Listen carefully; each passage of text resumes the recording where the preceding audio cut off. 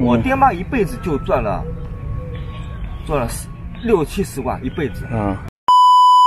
我他妈这个网红嘛，好多人都百思不得其解，甚至说我很奇葩，脑脑子有病。嗯。因为我我做这网红，我是就就像我的我的我我我像霆锋大哥，他做这个十二道风味也是一开始他只是想做一个菜就可以了。嗯。后来没想到越做越大，他自己都收收不了场。我我也是的。一开始我想在观众面前露个脸就就行了，后来一露不露不要紧，一一露脸我上瘾了，露上瘾了。第一次拍好视频之后，评论你都看过吗？啊，有有好的也有坏的，好坏的我反正主要听要说，好好好的嘛就感感谢他们的支持，这样。嗯。你不可能网上新闻全都赞你的，这不现实的。只要不要像恒大的白珊珊 被喷得一塌糊涂就可以了。你当时分享了，主要分享了什么？所以那么那么火啊？就是说，嗯那个。小王帮我包装了一下，说我是说我是富二代公子哥这样的，跟王思聪可以比相提媲美的。哎呀，是这么一说，我还了得啊。虽然说我现在没有在，但是呢，算属于中高中高端吧，也不能算太高端这样的啊。他们一辈子才赚多少钱啊？我跟你我跟你说啊，也跟那个你的那广大观众和粉丝们说，我爹妈一辈子就赚了赚了十六七十万一辈子，嗯，六六七十万那个时候。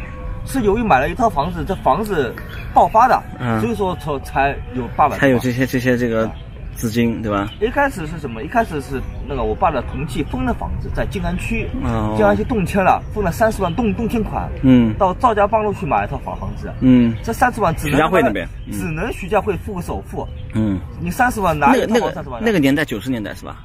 九八年的时候，九八年差不多，嗯，然后房子从四十四十万，帮一涨涨到八百多万。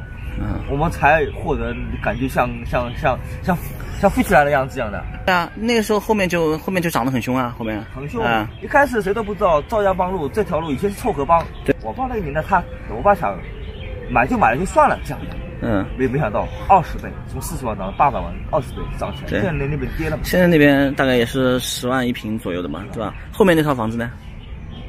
卖掉了呀，卖掉了是吧？卖掉了，因为房价已经在在跌了。然后，然后我买现在这个房子才买了两年嘛。嗯。然后当中嘛就嘣就涨涨上来。嗯。涨涨上来，然后嘛八涨八百多了嘛，然后就把房子给抛掉了。嗯。抛抛抛抛掉之后，然后嘛就买松江这边房子。嗯。然后就买到了松江，对吧？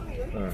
买买买买到松江了嘛，然后就就就就开始动了，以防万一，那么我又叫我妈，我妈拆资五十万买嘉定买了一套商住两用房。你一个松江，一个嘉定，这个距离也很远呀。其实你可以买在闵行，或者就买在松江旁边呀。为什么选了嘉定呢？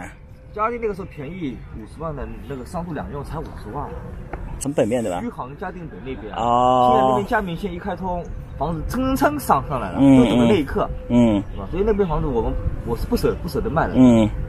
他们反正就现在这个情况还是蛮好的，他们嘛，感觉如果这房子我没有再出出什么事嘛，这房子就留给我了。嗯。现在涨到五百八十万了嘛。嗯嗯。就就留给我了。他们嘛，反正养养老金还有三百八八十万。嗯。我我我把账户里面还存着，死不肯拿。我说万一我哪天出事情了呢？嗯。我也不拿，确定吗？他说确定。好，完了完了。我说你这老老头子，我操。因为有些事情你是能用钱解决的，嗯，有些事情你钱解决不了的。是的，比如说你法院的大锤子一拍，你给他五百万解决不了，你十十年官司你肯定一年都逃不了。嗯，但是但是如如果说你出了什么事情，用这个钱去赔，但你现在能出什么事情啊？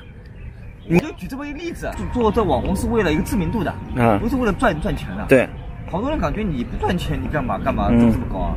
都感觉我很奇葩，你说我只会飘，变作天空一朵云，这飘来飘去，飘来飘去，啊飘嘛，因为因为你飘了嘛，离结束，你离被封杀就不远了，嗯，我何必飘呢？